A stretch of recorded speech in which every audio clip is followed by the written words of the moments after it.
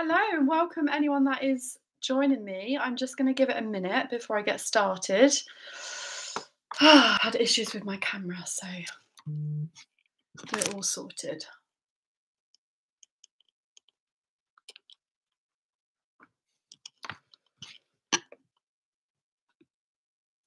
Anyone that's logged in, if you wouldn't mind just give me a little thumbs up in the notes to let me know that you can hear me, that would be great.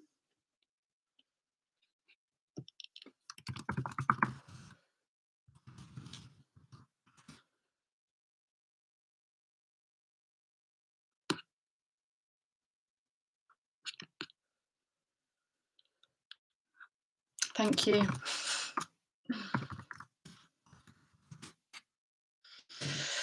I'm going to dive in. Uh, well, it's 7.29, so I'll just give people a bit of time to join because it's meant to start at 7.30 and then we'll get going.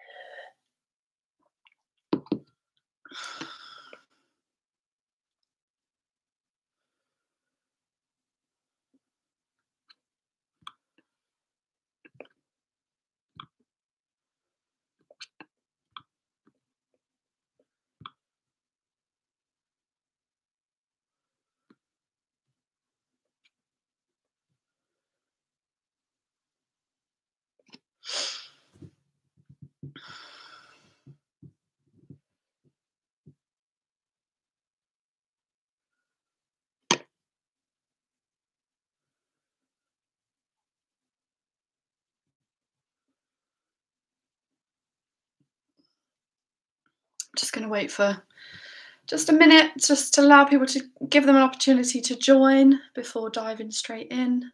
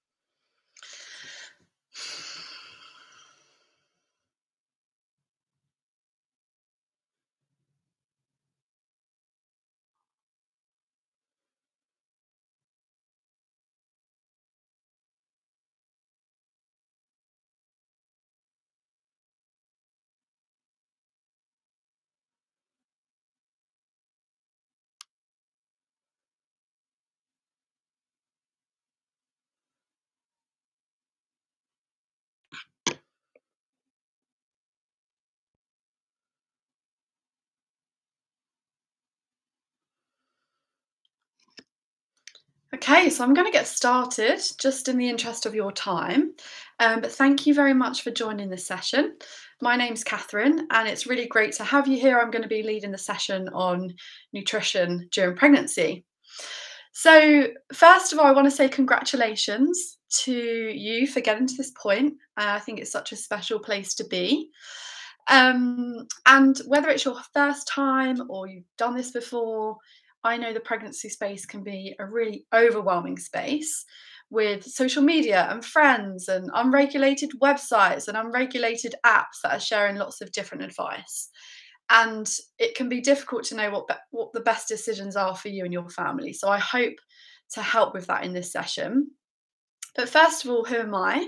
So, my name's Katherine, and I'm a registered dietitian. I'm a certified intuitive eating counsellor, and my area of interest is to help people maintain or establish a healthy relationship with food and their body throughout different life stages. And I run a private practice supporting people with their relationship with food. You can find me on Instagram at Nude Nutrition RD, or my website is nudenutritionrd.com. The RD stands for registered dietitian.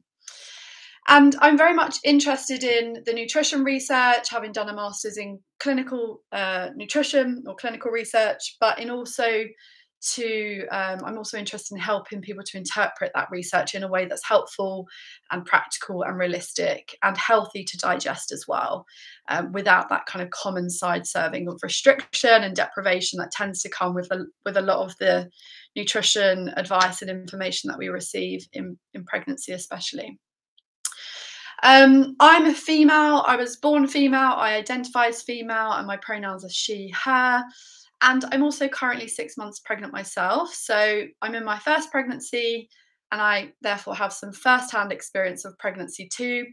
Of course, up and you know, just up to six months. Um, still got a bit of time to go. Um, and whilst I do my best to be informed of all of the different perspectives and stories um, of a wide and diverse population, I know that despite my best efforts, it's impossible for me to speak on behalf of everyone and, and all people. So throughout your pregnancy, you might have a different experience to what we explore in this session, and that's absolutely okay. Um, and always keep in mind that you are the expert of your own experience and you know your body best. Um, and finally, language is uh, really important to me, but it's I know it's also important to the Positive Birth Company. And we recognise that whilst pregnancy can occur in people who have uteruses, or pregnancy does occur in people that have uteruses, not all people that have uteruses are women. And so I will be using the term women and birthing people rather than simply women throughout this session, and mothers and parents as well, rather than simply mothers. Um, so if you feel like I've fallen short in any way, then please let me know because I'm constantly trying to do my best. I'm constantly trying to learn. Um, and a little reminder this session isn't intended to replace personal medical advice from your midwife, from your you know consultants, from your healthcare team. So of course, you know I can't speak to your individual experiences, um, but I'll do my best to help you feel informed. So in this session, I'm going to be covering things that I think are relevant from a nutrition perspective in my 10 years of experience being a practitioner and witnessing the challenges that pregnant people face, as well as the things that I've picked up and learned and frowned at sometimes as well during my own journey. Um, so we'll look at some of the research and I'll offer some tips and ideas. It might be sensible to grab yourself like a notepad, um, pen, or somewhere that you can just take some notes because I am going to be providing quite a lot of information and it's important that you you know you leave this session with with something that you can take away and action yourself if you want to. So i'm going to be covering weight gain in pregnancy uh, what's normal tips for navigating the system if you're living in a larger body i want to cover a little bit on disordered eating and eating disorders because it's actually more prevalent than we think in pregnancy and it's really important i think we touch on that before diving into the nutrition guidelines and what they say and what this means and things to be aware of um, which I'll be talking about. Um, and then I want to touch a little bit on labour foods because I just think it's quite an exciting topic. And, you know, if you're at your final stage of your pregnancy, you might be looking for things to help speed things up. So I'll be covering things in that order as well. Um, so if you are watching this on record and you want to kind of move around, then you know you feel free to do that. So first topic: weight gain in pregnancy. Um, now, I know this can be one of the biggest things on the mind of pregnant people uh, or some pregnant people, and it's compounded by the fact that bodies change, and this can be visible to others who can, you know, feel open to making comments.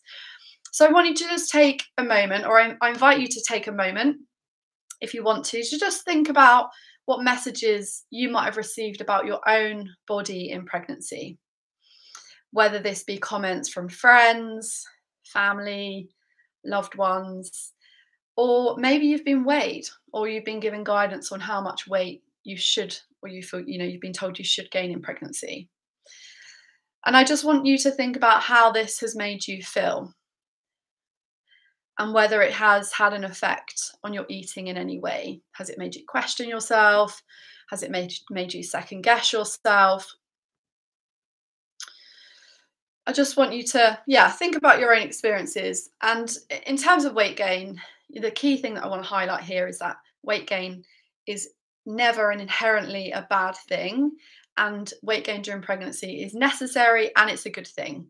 So, most of the weight that you'll gain during pregnancy will be your growing baby, of course, but also the growth of a whole new organ, so your placenta, the fluids in your womb, the blood supply to your placenta, uh, or the, you know the additional blood that you create to uh, supply the placenta, changes in your body, breast tissue, and you might also experience changes in your body in areas that just aren't around your bump, and that's totally okay too. Maybe in your face, maybe in your buttocks. Um, but I just want to reiterate that your body knows what it's doing. And I have heard some horror stories from clients and colleagues about people being told to lose weight during pregnancy, which is really not okay because that can pose risks to uh, both uh, you know you and the baby. Um, and actually restricting your diet or trying to control your weight or uh, you know excessively trying to exercise during pregnancy to lose weight can actually cause nutritional deficiencies to both you and your baby and affect your baby's development and growth. So, if a healthcare instru- in, uh, professional instructs you to lose weight during pregnancy, then I encourage you to ask them to document that in their notes and ask for a second opinion. Um, because not only is weight loss really very rarely achievable or sustainable when you're not pregnant, being told to lose or monitor your weight during pregnancy isn't going to make your body sort of magically be able to produce less fluid or blood or make a smaller placenta. Um, so, yeah, your body knows what it's doing. Um, and there are lots of things that are outside of your control when it comes to weight gain. Um, in terms of how much weight you should gain, well, there's actually no formal guidelines. So the UK's um, doesn't have any formal evidence based guidelines on what the appropriate amount of weight to gain is during pregnancy. And the, US as well, they have recommended some weight gain ranges for each stage of pregnancy, but they are not black and white and they, you know, they state that they need further research to support them. Um, so, of course, it's okay to have some awareness of your body weight and body weight gain, um, and that's something that you can discuss with your, you know, healthcare team, your midwife, midwife. Um, but you're, you know, if you're eating in a way that's working for you, you're moving in a way that's working for you, you're doing the best you can. It's normal. It's necessary to gain weight. Your body knows what it's doing, and it's not uncommon for healthcare providers to sort of make judgment based on your weight gain as to whether you're eating well or exercising well. And we know that women and birthing people can gain weight appropriately and have very poor nutrition. And likewise, likewise, they may gain above or below those kind of recommended limits and still have really great habits and lifestyle habits. So I think discussions around weight gain in pregnancy needs to move beyond the scale. Um, you might be weighed in pregnancy, and the reason you might be weighed is to assess for certain health conditions. Um, and weighing, you know, uh, being weighed in pregnancy, it began as a strategy to make sure the parent and therefore baby was well nourished. Um, but if it's uncomfortable for you or being weighed is not good any good for your mental health, then there are lots more sort of reliable and less stigmatizing ways um, for testing of testing for most of the issues that might arise during your pregnancy, including nutritional status. So if your doctor or your midwife wants to weigh you, then it's well within your rights to ask them why they want to and what additional information that's going to give um, you know give them about you or your baby and whether there's another way of testing for that condition that could be more effective. So it's well within your rights to decline being weighed. Um, so just as a final reminder on that section on weight gain in pregnancy um, prioritize nourishment let your body do its thing it knows what it's doing and pregnancy shouldn't be about specific weight rather it's about making the safest home for growing your human. Um, which brings me on to the subject of well, what if you're pregnant and you're in a larger body? Um, because it's not uncommon to be lumped into a high risk category purely based on weight or BMI, which is a measure of your weight to height ratio um, when all other mar- markers are normal. Um, and this, coupled with the representation or, or the low representation of diverse bodies in pregnancy and maternal care, can leave anyone that doesn't really fit into that societal idea of what a pregnant body should be, which is the vast majority. There's a lot of people that don't fit into that standard. Um, it can leave you prone to feeling excluded or like you need to change your body in order to have a safe and enjoyable pregnancy, which isn't true. Um, but being of a high weight in pregnancy can impact how often you're monitored, your choices. So, this is your cue to do your research basically know your rights, know what you want, know what you don't want, and to listen to your own body and gut because you're worthy of having your needs met regardless of your size. Um, and unfortunately, weight based discrimination does exist in healthcare. and feeling like you're going to be treated differently due to your size can feel quite anxiety provoking, which we don't need any more anxiety in pregnancy, right? Um, so being in a larger body in pregnancy, I think the thing that gets brought up is is risks and complications and all of that. Um, but being in a larger body doesn't mean that your pregnancy is going to be any more complicated or dangerous or different to anyone else's. And we know that many of the conditions that are linked to um, uh, that increased risk of being in a, when being in a larger body can occur in people of any size. Um, and the American College of Obstetricians and Gynecologists, their guidance acknowledges that there are some risks associated being with a uh, being in a body with a higher BMI. Um, but in the same line, it also states that you can have a healthy pregnancy if you're of a higher weight. So, um, if you're in your um, on your uh, in your second pregnancy as well, or third, or fourth, or fifth, the guidance in the UK um, it notes that most people will have uncomplicated pregnancies, and a study in 2013 found that previous pregnancies were a much more accurate prediction of whether you might require medical in- intervention during labour than a person's body mass. Um, so that's just something to be aware of. Um, so rather than getting caught up in worrying about um, what might happen during your pregnancy, I recommend just doing some research, knowing your rights, knowing what you want, and knowing what you don't want. And I've linked to some resources. So I've linked to some fat positive pregnancy resources below this session um, that you can access for advice and support if this is your experience. Um, one thing that's really important to be aware of is um, is risk and that's the thing that's talked about most often whether you're in a larger body or not to be honest. Um, but it's important when it comes to understanding risks and complications in pregnancy um, if you're in a larger body um, it's important to understand what's meant by that risk. So there's a difference between a relative risk and an absolute risk. So to give you an example if you're told that you could double your chances of winning the lottery by buying an extra ticket, but the, the original chance was one in a million, you've doubled your chance to two in a million. So, yes, you're twice as likely to win, but the overall chance is still very low. And the same applies to health. So, even if the higher there's a higher relative risk of complication during pregnancy, there might be a still be a really small chance overall. So that doesn't mean that you're irresponsible to take that risk. And that's why it's important to know your rights, know what that risk means. And so if a doctor mentions risk related to your weight, then just ask them, well, what what's the absolute risk, that exact risk, rather than the relative risk compared to other people. Um, so yeah, have a look at some of those resources if that is applicable to you. I think you'll find them really helpful. So disordered eating and eating disorders in pregnancy. Um, you might not think this is relevant to you, um, and I know you're probably itching to get onto the nutritiony stuff, um, but actually, around 30% of people um, can, well, research has suggested that dis- disordered eating can affect around 30% of pregnant women. And I say women, that is, you know, I say that uh, is women because that's the group of people that were researched. Um, and approximately 7.5% of women at their first ultrasound were suffering from a diagnosable eating disorder. And the interesting thing about this is that eating disorders and disordered eating aren't screened for, often aren't picked, aren't picked up.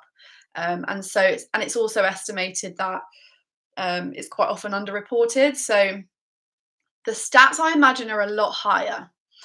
So if we've got, you know, uh, 100 people listening to this, 30 might ha- be having a difficult time. Um, and this can be due to messages that we receive from our culture about food and bodies. There can be a lot of pressure at this time, especially when the body is rapidly changing. So, um, when it comes to knowing like what is disordered eating, what's eating disorders, I, I like to sit on a spectrum where you've kind of got normal eating at the end of the spectrum, you've got diagnosable eating eating disorders at this end of the spectrum. So there's a kind of um, diagnostic criteria to um, being diagnosed with an eating disorder. And then there's a whole host of stuff in the middle. Um, and they tend to be the people that I, I often work with um, that just have a bit of a problematic relationship with food, but don't feel like they're kind of problematic enough to fall into an eating disorder category. And a lot of these um, behaviors are also quite normalized as well in our society. So these behaviors that can be more in line with disordered eating might be things like frequently dieting, having anxiety associated with food or eating, or feeling guilty about your eating or ashamed. Um, you might be preoccupied with weight or shape or size. Um, you might not be able to be around certain foods or have food in the house because you feel out of control around it. Um, you might feel like you need to exercise or eat less to try and compensate for what you've eaten. And so these could be some signs that you're displaying some difficulties with food. Um, and in terms of having an eating disorder, if you've got a current or past eating disorder, it's important that you make your healthcare team aware of this because attempting to avoid weight gain or engaging in sort of disordered eating behaviors um, with food can pose could pose some risks to your baby. Um, you know could pose risks for you with depression anxiety but could also cause low birth weights uh, miscarriage preterm birth and problems like that. Um, uh, problems with milk supply as well. And i don't say this to like scare you at all. I'm saying this because it's actually a great time in pregnancy to kind of address um, address some of these things and get the support that you need. Um, so I have also linked in the bottom of this um, in the bottom of this live to a self screening tool, um, and that screens for eating disorders and disordered eating. So, if you think this could apply to you, I would encourage you to go through that screening tool and see what it says. Um, if you're worried and feel like you need some support, then again, I've linked to some resources on where you might be able to seek some additional support there as well. And I think it's important to touch on that before diving into the nutrition stuff because um, the anxiety about food um, and eating itself itself is it's almost you know more problematic than than how than what you're eating if if that's occurring for you. So something to be mindful, something to look out for um, in yourself, but also maybe others around you as well. Um, so let's dive into some of the nutrition guidelines. So what do they say, and what does this actually mean? Um, and so I just want, I just invite you again to just have a think about your own experiences at the moment, uh, what stage you're at in your pregnancy, whether you're in that kind of first trimester and your eating feels chaotic or you feel sick all the time um, or you only want to eat specific foods or maybe you're in that kind of middle phase that second trimester where you are expecting to suddenly feel better and you're not um, or maybe you are feeling better and you're able to increase your variety of foods eat, that you can eat or maybe you're in that third trimester where you're struggling with reflux or um, you know you're struggling to eat um, or you know sleep well or you're um, you know you're wondering what sort of foods to gear up for for labor gear up with for labor. So just think about where you're at and what your pregnancy nutrition is currently looking like. Um, and then i'm going to go through some things. So I often focus on nutrition from a gentle perspective. So, really focusing on what you can add into your diet to help enrich and support and enhance your health rather than what you can kind of restrict and deprive and take away. Um, of course, there are some things to be aware of, which I'll touch on, um, and it's important to kind of see that that those sort of partial restrictions on food from a place of self care. It's a short period of time, um, but hopefully, I can help you to feel empowered with things that you can be adding into your diet because there's a lot of weird and wacky advice out there. And if you're cutting out foods or cutting out food groups, it can, you know, set us up to not be in such a great place nutrition wise. Um, So the key thing in pregnancy is actually adequacy, and it's making sure that you're you're eating enough food. Um, and you're eating a wide variety of foods so that you're getting all the nutrients that you need to look after yourself and your growing baby. Um, there's no specific pregnancy diet. There is some nutrients that are important to consider, um, but there's there's no kind of set diet that you need to be going on. So I'm going to be running through how to know how much food you need, a bit about fluid, a bit about protein, a bit about carbs, a bit about fats, fiber, some other nutrients to consider, and then labour foods. And I'll be signposting to any places that I think um, would be helpful for you to get further information. Um, so yeah, you might want to keep taking notes on this section. Uh, have a think about your kind of usual day or where you're at at the moment, and is there any scope to add anything or make adjust adjustments to your current day. So first things first, how much food do you need?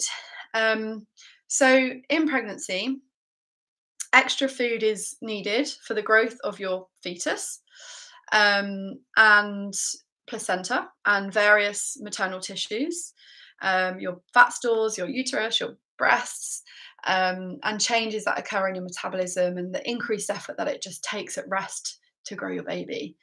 Um, so I had a look on the NHS website and the Royal College of Obstetric- Obstetricians and Gynecologists, um, and there was a recommendation to have an additional 200 calories in your third trimester and nothing else in your first and second.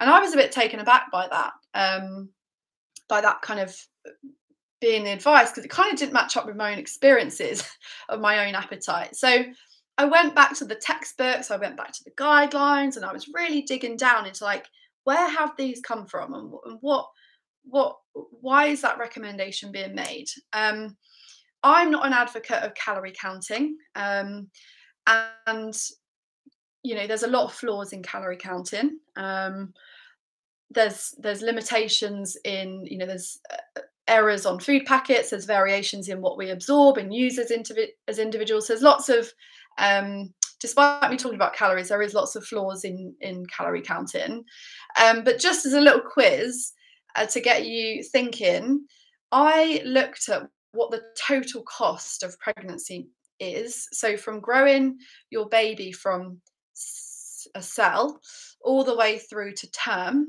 this is if you have one baby, by the way. If you've got multiple, then this is, um, I don't have the stats for that, couldn't find them. Um, but what, how many calories do you think it requires for your body to, to grow a whole baby, including all the tissues uh, and all the changes that your body goes through as well? Do you think it's an additional 10,000 calories that your body needs over that nine or 10 months or whatever it is? Do you think it's an additional 50,000 calories? Or do you think it's an additional 80,000 calories? Feel free to drop that in the notes if you want to throw a guess in. Um,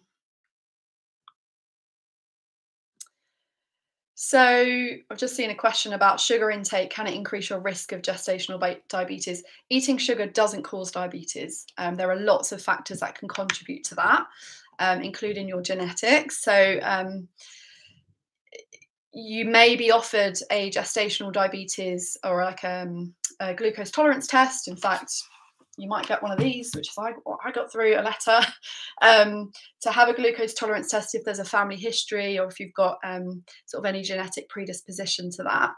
Um, but certainly not going to cause diabetes by eating sugar or bread or anything like that. Anyway, um, yeah, Jen, you're right. It's 80,000 calories. Um, that is the cost of pregnancy. So that's a lot of calories. It's a lot of energy that our bodies need in order to um, grow a baby. So the guidelines say, you know, an additional 200 calories, which is the equivalent of, say, half a cheese sandwich or four ginger nut biscuits or a banana and yogurt or a slice of toast with peanut butter, that kind of stuff.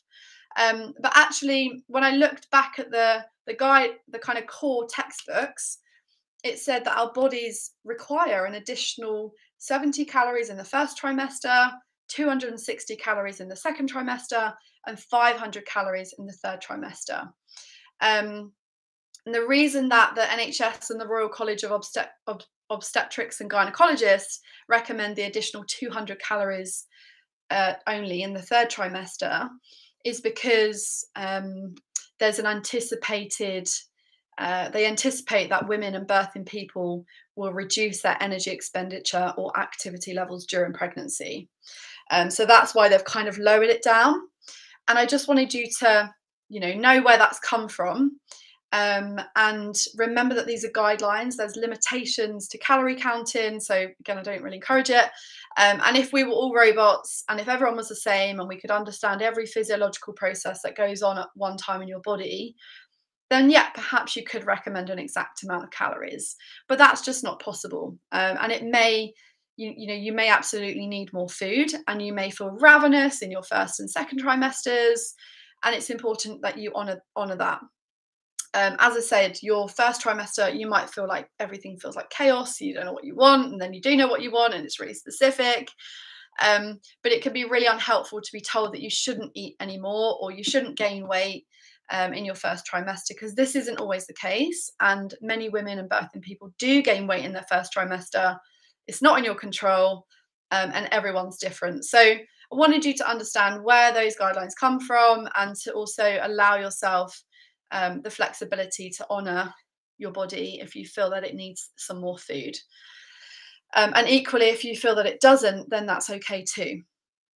Um, so how can you if you're not counting calories then what how can you know how much to eat well um, one of the most accurate ways to know how much your body needs is to try and be guided by your own hunger cues. So eating regularly eating enough and establishing a regular and varied meal pattern will cover most of your bases nutrition wise but if you've been dieting for a while or you don't trust your body cues or you've been guided by calories or meal plans or points or other sort of external methods to tell you how much to eat, you might feel a little bit out of touch with what your body's asking for. And this is where um, there's an evidence based framework called intuitive eating that can help. And if you're interested in learning how to be more of an intuitive eater or how to raise an intuitive eater, because we were all once intuitive eaters, and your baby is going to come out of you being an intuitive feeder. They're going to know how much food they want. They're going to turn their head away when they've lost interest, and they're going to know when they're full and when they're hungry. We all have that innate ability, but it kind of gets bedded out of us as we get older because of the messages that we receive about food in our bodies and don't eat that and do eat this and this is bad and this is good. So, if you're interested in learning more about that and learning how to get back in touch with your body and letting your hunger guide the way, then intuitive eating is a great um, place to start. And I've linked to some resources to help with that, um, some books and things, as well as how to raise an intuitive eater um, below if you're interested. But in terms of connecting with your own body, so quite often people know what it feels like to be really hungry uh, and ravenous and then really stuffed. So if you think about your hunger levels on a scale of 0 to 10, uh, like a fuel tank, so zero is starving hungry, there's nothing left in you, and 10 is your you know you're absolutely stuffed you've had all of the you know, you've had your Christmas dinner and you've had all of the turkey and all of the stuff, and you feel like you just need to lie down on the sofa and unbutton your trousers, um, and uh, you feel really uncomfortable. Um, I mean, you might be unbuttoning your trousers now anyway, your, with your bump growing, but um, it's never a good place to be at that bottom end of the spectrum where you're dipping into your stores, your energy stores to kind of sustain you. And then when you do reach for food when you're down there, it can feel completely out of control. So it can be helpful to try and connect with your body's hunger cues, especially the subtle ones. And if you think of it on that scale of 0 to 10, I always think a three, two to four, that kind of level is it's a polite hunger. You could eat, but you could wait half an hour is usually quite a nice time to start eating. So, with that in mind, I invite you to join in with some noticing around your own hunger right now. So, if you were to rate your hunger level on a scale of 0 to 10 right now, where 10 is, you know, stuffed, zero is completely empty, you're drained, uh, five is neutral, you're neither empty nor full. Where do you think you sit on that scale right now? Just have a think for a moment. And if you come up with a number, if you've got no idea, don't worry. It's, it's not an easy thing to do. Um, but if you have come up with a number, then just think about how do you know that? Did you go to the clock to decide what you should feel? Did you go to, um, you know, what time when you last ate and how therefore your body should feel? Or did you clock in with your own body? Um, having listened to some of Siobhan's meditations you know they can be really a really great way to check in with yourself and, and learn how to kind of connect with your body. Um, so the different ways in which hunger might be showing up are in your mood. So you might feel hangry or irritable or have like low concentration. And that is um, you know probably quite far down on the scale at that point. You might feel tired or sleepy or sluggish. Quite often people say they have like a mid-morning or a mid-afternoon slump um, and actually, it's a sign that your body might need food. Um, you might have a headache or find it uh, find you're kind of lightheaded or you're finding it difficult to stick to a task, you're distracted. Those are all signs of hunger. You might notice in your stomach, which sits just below your rib cage, it sits high, quite high up, um, just up in the center. In your stomach, you might feel like a stomach ache, you might feel a gnawing, a rumbling, a gurgling, and you might even kind of get a sicky or burny sensation that moves up your throat and, and your chest. Um, or you might just be thinking about food and salivating at the thought of food. Food just sounds good. Usually, thinking about food, that's like the first sign of hunger. Um, and that's a time to think about when did you last eat? You know, would it be reasonable that you might be hungry right now? Um, now, if that feels a little bit far fetched for you, then it might be helpful to just ge- implement some gentle structure around meals and snacks.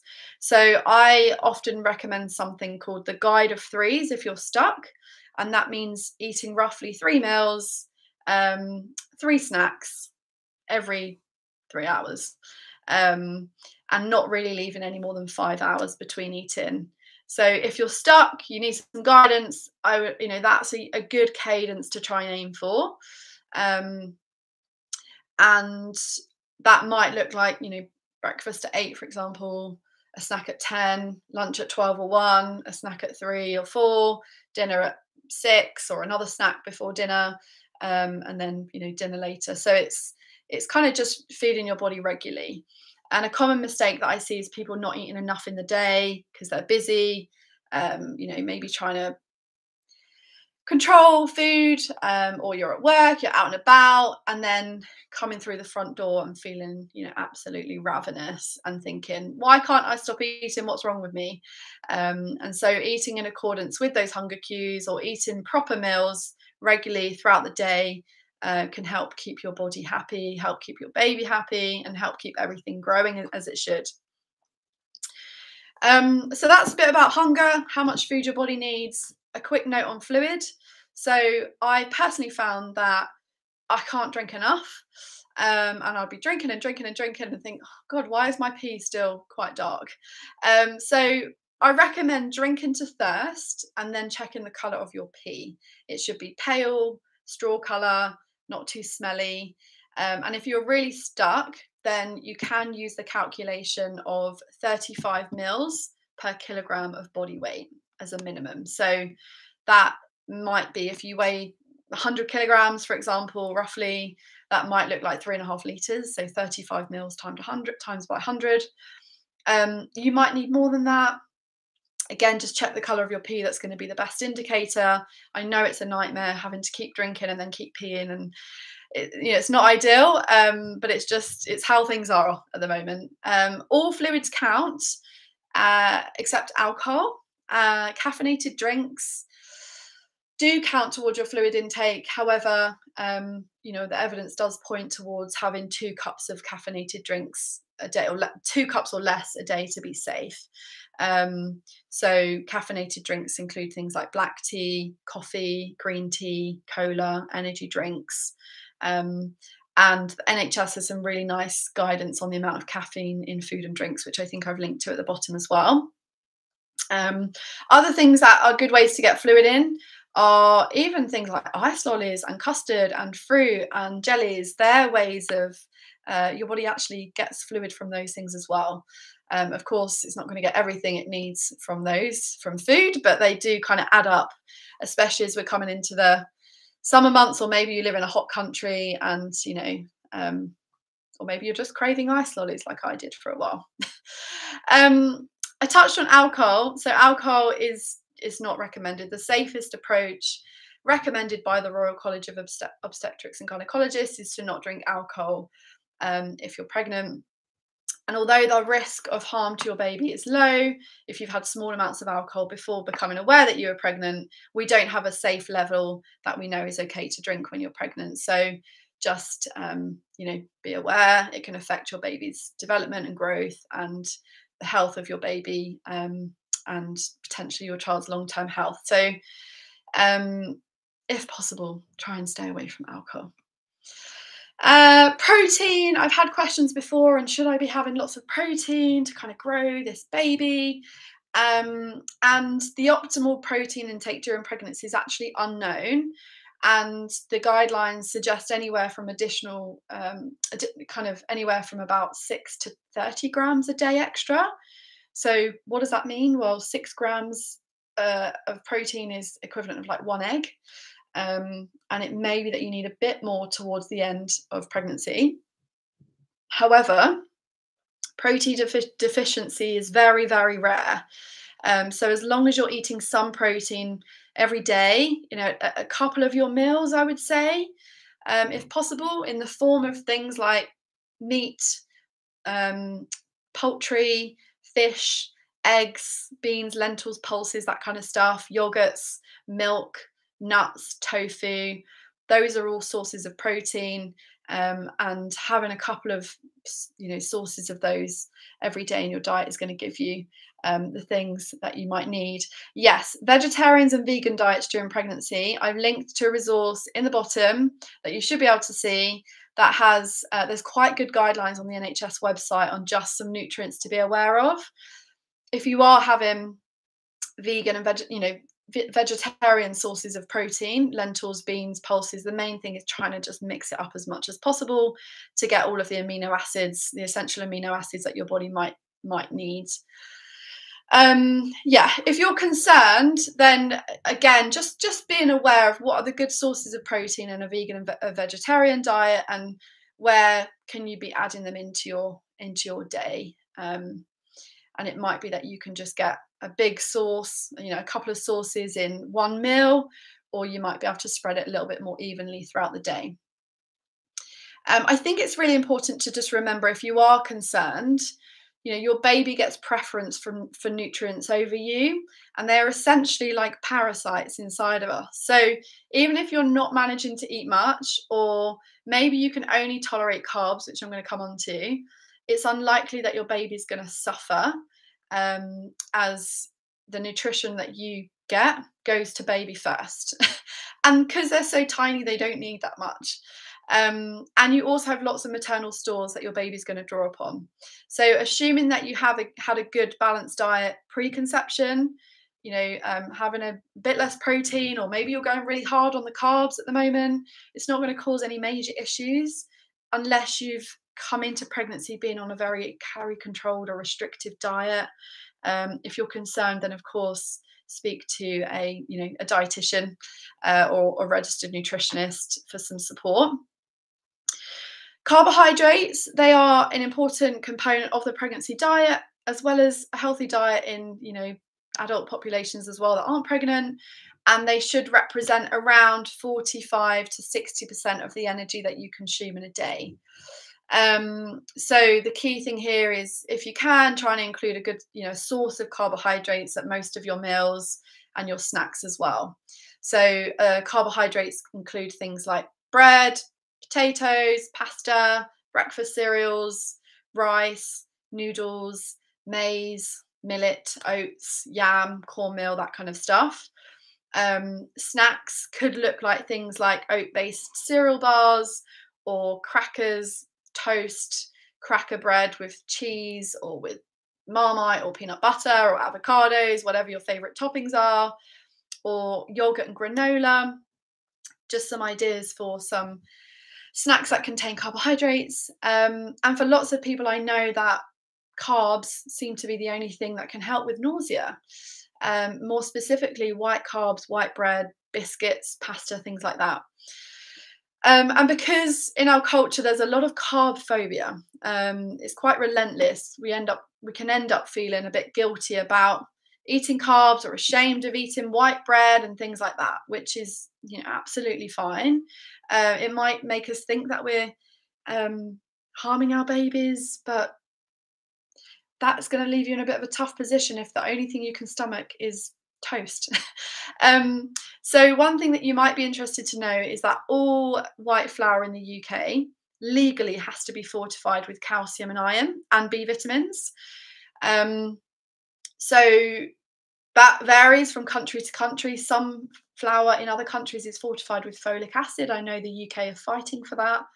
Um, but in different countries, there's different kind of levels of fortification, and they do that because they recognise that bread is a highly consumed food in the UK, and they see that there are certain potential deficiencies, and how can we kind of boost the population without them realising it. Um, so yeah, white flour is still pretty nutritious, and as I said, baby gets preference for nutrients over you. So if you are a bit of a toast monster at the moment, then that's not a problem um, unless you know unless it's going on and on and on and you're concerned um, about your you know your dietary intake um, another thing is um, fats. I'm gonna got about i'm at 45 minutes but i'm gonna i'm not gonna go any more than an hour by the way. Um, so if you do need to go at 45 minutes then you can catch up on the next bit um, at another time because it's recorded um, but fat, so there's no official recommendations for fat intake during pregnancy. And one thing that we do know is that omega 3s are quite important to ensure good growth of your baby's brain and nervous system. Um, and fat or like omega omega 3s are found in um, typically found in things like oily fish. But we also know what comes in oily fish, and fish is mercury, which can be harmful in pregnancy. So um, it's kind of finding a balance, and the current recommendations are to aim for two portions of fish in a week, and a portion is kind of like um, what fits into like that finger size like that or a checkbook kind of size for anyone that has a checkbook these days. Um, but it's recommended to aim for two portions of fish a week one of which is oily and good sources of oily fish that are also low in mercury include things like salmon, pollock, herring, sardines, cod, and mackerel. And not king mackerel. Apparently, king mackerel's got lots and lots of mercury in it. Um, so, if you don't eat fish or you don't like fish uh, or you've really gone off it during your pregnancy, there are other sources of omegas as well. So, things like chia seeds, linseeds, hemp seeds, walnuts, rapeseed oil. They're not quite as well absorbed as fish, but they are still um, they are still sources of omegas. And also omega 3 is found in some uh, pregnancy multivitamins as well. And the main benefit of omegas is a component of the omega 3 called DHA or docosahexaenoic acid. So um, the recommendations are to include around 200 to 300 milligrams of DHA a day, and you'll see that in probably in your supplement, your pregnancy supplement.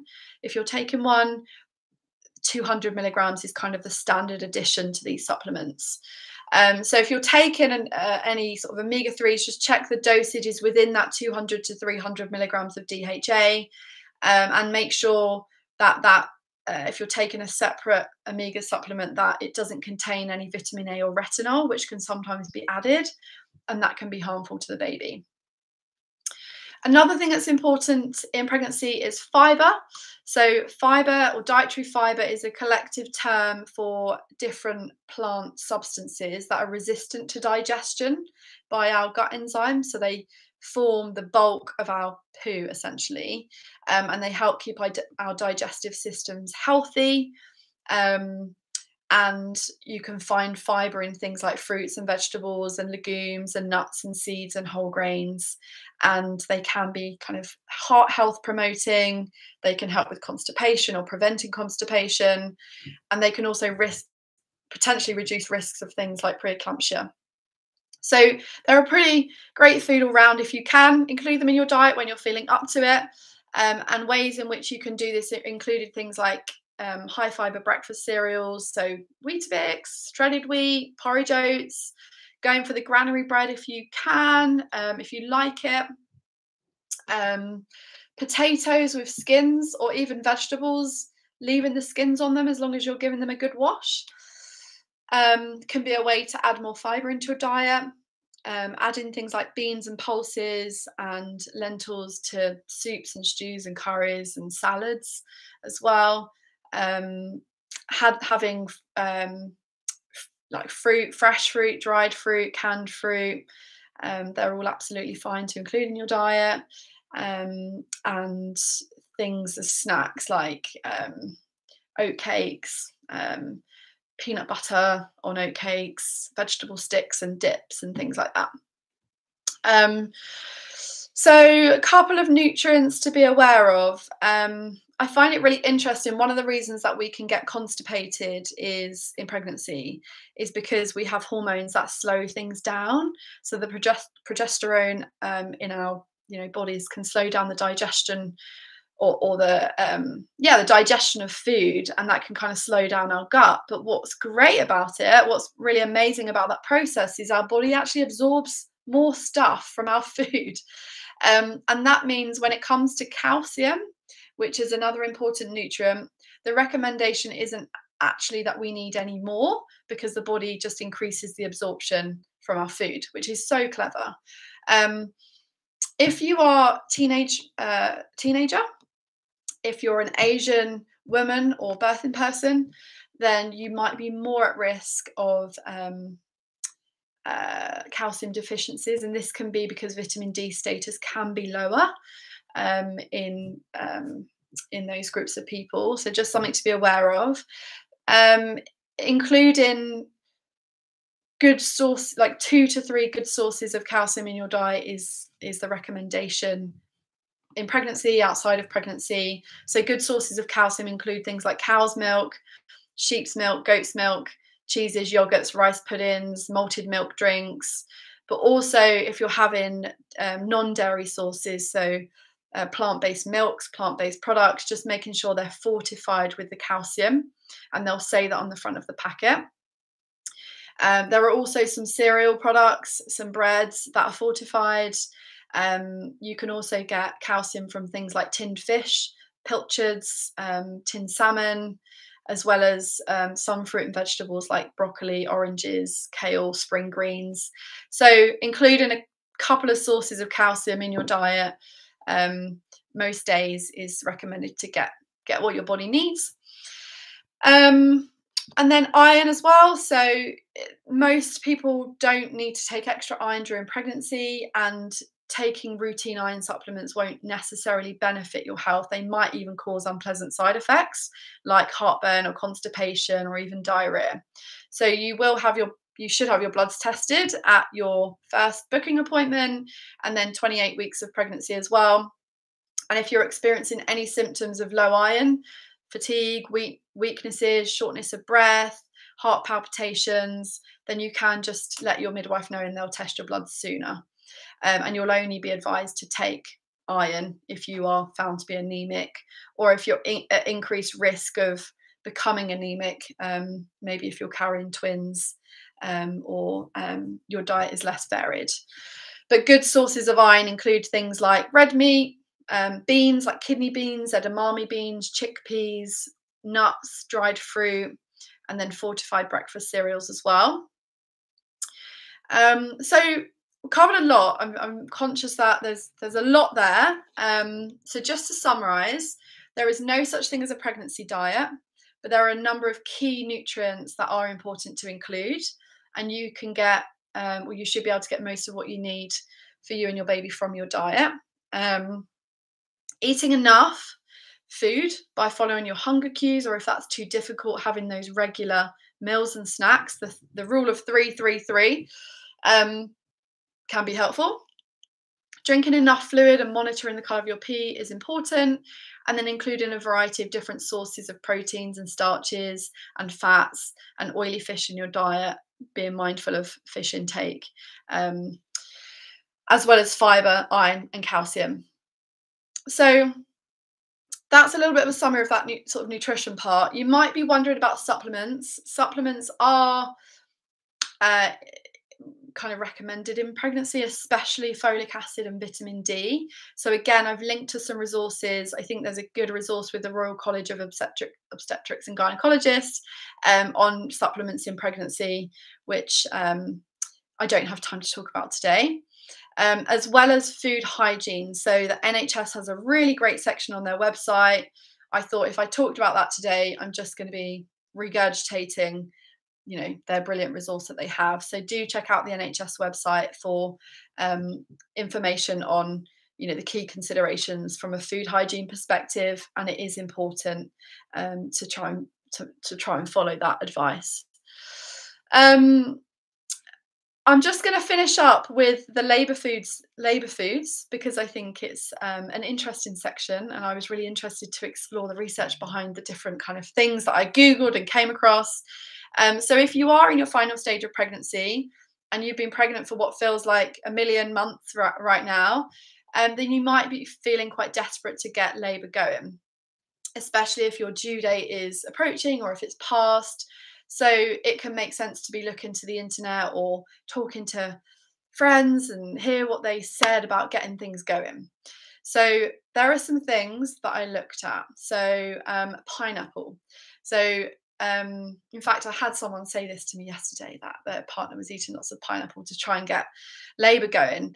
And although pineapple is a great source of vitamin C uh, and fibre, um, there is a shortage of evidence to back up the claim that it can soften your cervix. So if you do like pineapple, it's sweet, it's refreshing, it's rich in fibre, but just don't expect that it's going to suddenly speed things up.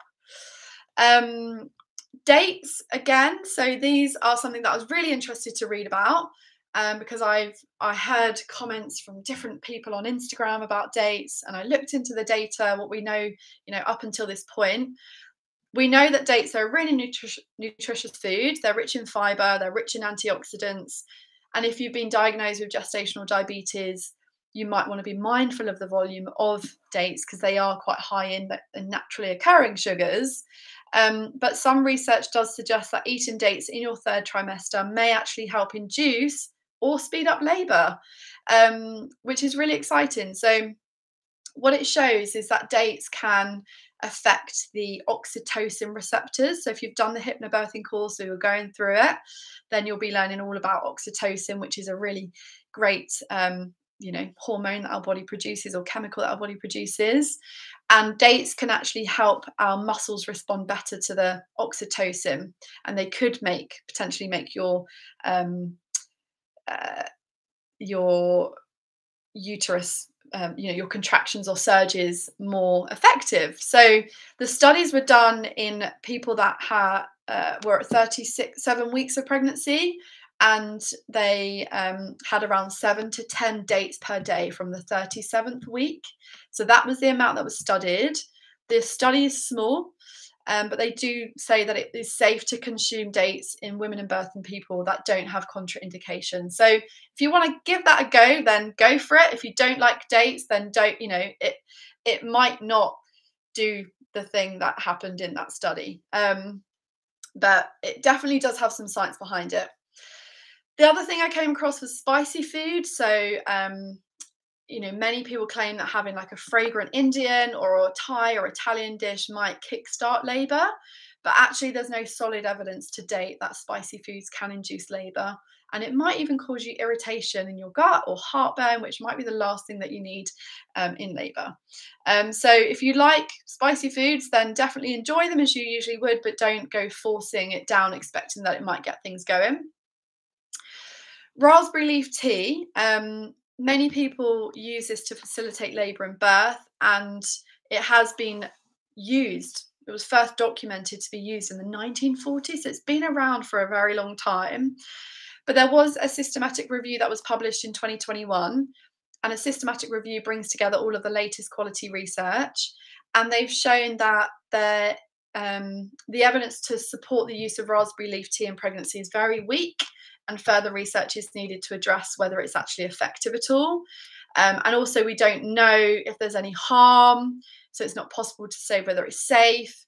And there's a real lack of consistency in um, how much what the dosage of raspberry leaf tea would be effective, the time to take it. So it's just not something that I can kind of recommend.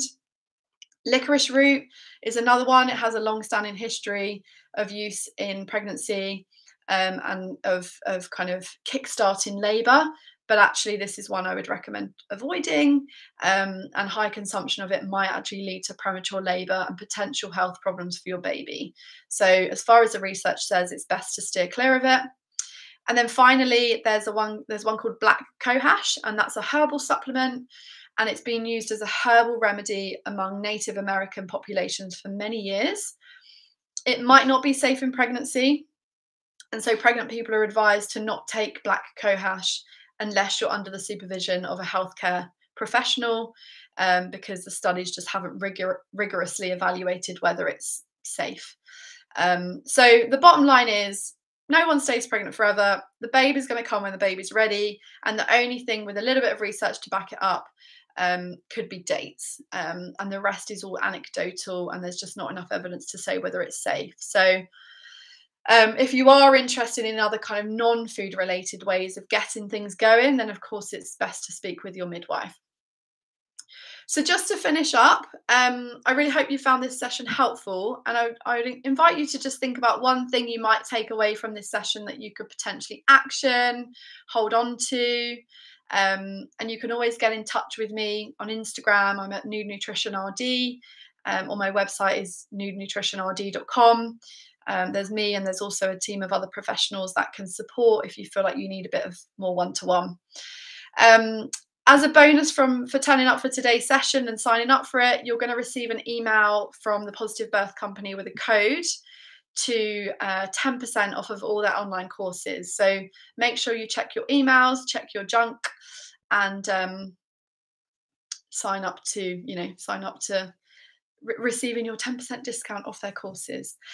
But thank you very much for joining, um, and I hope you found it helpful and. Uh, feel free to you know reach out to me on social media and happy to uh, answer any further questions. But hope you found it helpful hope you found it um, hope it's given you a little bit more confidence and reassurance about your pregnancy. And um, enjoy the rest of your evening or day wherever you are in the world. Thank you